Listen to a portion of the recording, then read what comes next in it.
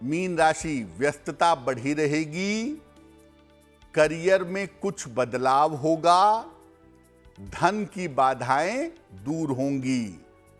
भगवान सूर्य को अगर जल अर्पित कर दें तो आपका दिन और भी ज़्यादा बेहतर होगा। शुभ रंग होगा हरा और भाग्य का मीटर आपको नंबर दे रहा है। पैंसठ प्रतिशत जितनी मेहनत करेंगे उतना ही आपको लाभ होगा।